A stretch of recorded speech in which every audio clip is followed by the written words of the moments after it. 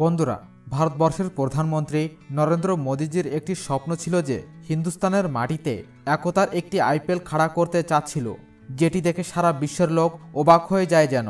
ওনার এই স্বপ্নটি তখন পূর্ণ হলো যখন গুজরাটে একশো বিরাশি মিটার উঁচু সর্দার বল্লভভাই প্যাটেলের স্ট্যাচু অফ ইউনিটি তৈরি করা হলো। এই মূর্তিটি অদ্ভুত, অতুলনীয়, অকল্পনীয়। যে ব্যক্তি এই মূর্তিটি একবার দেখে সে তানার ঘাড় উঁচু করে দেখতেই থাকে। আপনি যদি ধারের কাছ থেকে এই মূর্তিটি দেখেন, তাহলে আপনার ঘাড়ে অনেক পরিমাণে ব্যথা করবে। কারণ আপনাকে এই মূর্তিটি দেখতে গেলে আপনার ঘাড়টি নব্বই ডিগ্রি অ্যাঙ্গেলে কাত করতে হবে, তখনই আপনি দেখতে পারবেন। অ্যাকচুয়ালি বন্ধুরা, এই মূর্তিটি অনেক দিক থেকেই স্পেশাল রয়েছে। কিন্তু বন্ধুরা, আমরা এই মূর্তির ভেতর কয়টি এমন ধরনের বিষয় খোঁজ করেছি, যে তথ্যগুলি জানলে আপনি অবাক অবশ্যই হবেন। এবং নতুন কিছু জানতে পারবেন, যার কারণ আপনি কন্টেন্টটি কোথাও স্কিপ না করে সম্পূর্ণই দেখবেন। নাম্বার ওয়ান এই মূর্তিটির উচ্চতম একশো বিরাশি মিটারই কেন? এর কারণটা কি? একশো বিরাশি মিটার হাইট এই মূর্তিটির স্পেশালি একটি কথা। আর একশো বিরাশি মিটার উচ্চতম রাখার কারণ হচ্ছে গুজরাটের বিধানসভাতে একশো বিরাশিটি সিট রয়েছে। আর ওইটি ফলো করেই এই স্ট্যাচু অফ ইউনিটি মূর্তিটির উচ্চতম একশো বিরাশি মিটার করা হয়েছে। নাম্বার টু, স্টার্টিং সময়। সর্দার বল্লভভাই প্যাটেলের মূর্তির মুখটি ভগবান বুদ্ধার মতো করে দেওয়া হয়েছিল। প্যাটেলজের মুখ তৈরি করার কাজ চীন দেশের কাস্টিং কোম্পানিরা করছিল। আর কাজ করার সময় প্যাটেলজির মুখ ভগবান বৌদ্ধের মতো করে দিয়েছিল। তারপর পুনরায় নতুন করে কাজ শুরু করা হলো। আর শেষ সময় গিয়ে প্যাটেলজির আসল চেহারা তৈরি হলো। নম্বর তিন, এই মূর্তিটির মুখ তিরিশ ফিট, হাত সত্তর ফিট এবং পা পঁচাশি ফিট। এই ভব্য প্রতিমাটি আমরা এর থেকে বুঝতে পারি যে এই স্ট্যাচুটির মুখ তিরিশ ফিট এবং পা পঁচাশি ফিট লম্বা। এই কারণেই একশো বিরাশি মিটার উঁচু। স্ট্যাচু অফ ইউনিটি মূর্তিটি সাত কিলোমিটার দূর থেকেও আপনি দেখতে পারবেন। Number four. এই মূর্তির মতো আরেকটি সেম ধরনের মূর্তিও রয়েছে।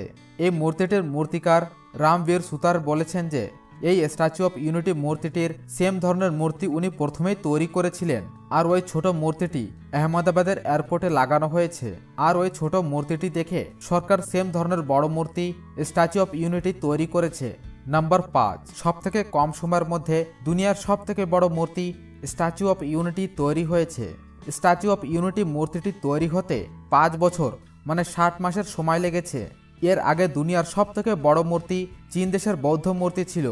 আর ওই মূর্তিটি তৈরি করতে ষাট বছর সময় লেগে গিয়েছিল। নম্বর ছ, ভূমিকম্প, ঝড় এবং বাতাসের বেগ। এই মূর্তিটি একটুখানিও বাঁকা করতে পারবে না। এই প্রতিমাটি ভূমিকম্পর কম্পনটি সহ্য করার মতো ক্ষমতা দিয়ে তৈরি করা হয়েছে। এই মূর্তিটি এমন করে ডিজাইন করা হয়েছে যে সিক্স পয়েন্ট ফাইভ দ্রুত গতির ভূমিকম্প। এবং দুশো কিলোমিটার প্রতি ঘণ্টা স্পিডে আসা হাওয়া থেকেও বাতাসের বেগেরও কোনো এফেক্ট এই প্রতিমার পর হবে না। নম্বর সাত এই মূর্তির ভেতর হাজার হাজার বছর কোনো জং লাগবে না। এই মূর্তির শিল্পকার রাম বিতরণ বলেছে যে এই মূর্তিটি সিন্ধু ঘাটের সভ্যতার সমকালীন টেকনোলজি দিয়ে তৈরি করা হয়েছে। এই স্ট্যাচু অফ ইউনিটি এই স্ট্যাচু অফ ইউনিটি প্রতিমা তৈরি করতে পঁচাশি শতাংশ তামা সহিত চারটি ধাতু মিশ্রিত করে তৈরি করা হয়েছে, যার কারণ এই মূর্তির পর হাজার হাজার বছর কোনো জং লাগবে না। নম্বর আট, সর্দার বল্লভভাই পাটিলের মূর্তিটাই কেন? ভারতবর্ষে মহাপুরুষের এবং মহাত্মা কোনো কম নেই। অনেক মহাপুরুষ রয়েছে ভারতবর্ষে, কিন্তু অন্য কোনো মহাপুরুষের মূর্তি কেন তৈরি করা হয়নি? অ্যাকচুয়ালি সর্দার বল্লভভাই পাটিলের জন্ম গুজরাটেই হয়েছে, আর এনার অখণ্ড ভারতবর্ষ গঠন করার যোগদান অনেকটাই বেশি। আজকে আমরা যে ভারতবর্ষ দেখছি মানে উত্তর ভারত দক্ষিণ ভারত, পশ্চিম ভারত এবং পূর্ব ভারত। এই ভারতটি ইউনিটি করার মূল কারণ সর্দার বল্লভভাই প্যাটেল ইনি আজকে যদি ভারতটি একত্রিত না করত, তাহলে ভারতবর্ষ আজ চারটি দিক চারদিকে ভাগ হতো। আর ভারতবর্ষ একজোট করার কারণ এনাকে ভারতবর্ষের লোহা পুরুষও বলা হয় মানে আয়রন ম্যানও বলা হয়। আর বল্লভভাই প্যাটেলের কাজকর্ম থেকে প্রধানমন্ত্রী নরেন্দ্র মোদী অনেকেই প্রভাবিত হয়েছেন। এই এটাই কারণ যে ভারতবর্ষটি এক সূত্রে বাধার পেছনে সর্দার বল্লভভাই পাটেলের মূর্তি তৈরি করা হয়েছে। বন্ধুরা, এই ছিল এই ভব্য মূর্তির কিছু স্পেশাল কথা। আপনাদের কন্টেন্টটি কেমন লেগেছে আমাকে কমেন্ট করে অবশ্যই জানান।